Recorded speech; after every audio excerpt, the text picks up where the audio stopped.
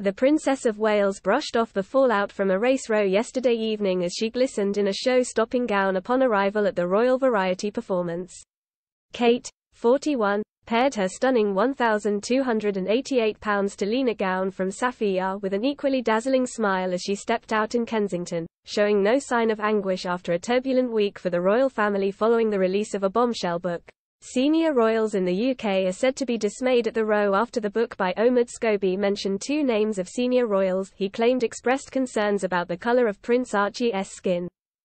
The Dutch version of his book Endgame was pulled from shelves in the Netherlands after it appeared to name the two royals, something Scobie has put down to a translation error.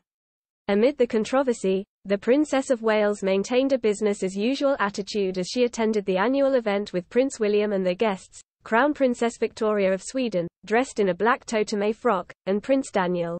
The pair identified in the book were named widely by media organizations around the world last night, including The Guardian and The Times, as King Charles and Kate. However, the princess brushed off the mentions as she arrived at the Royal Variety Performance 2023 in the show-stopping gown which featured flared sleeves and statement shoulders, plus a gem-encrusted high neck. She donned a chunky gem bracelet with matching earrings, carried a sparkling clutch bag and wore her thick brunette locks in bouncy curls.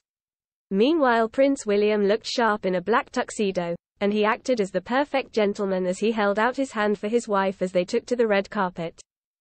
On arrival they met ITV executives before being introduced to Daphne Self, who at 95 is the world's oldest supermodel.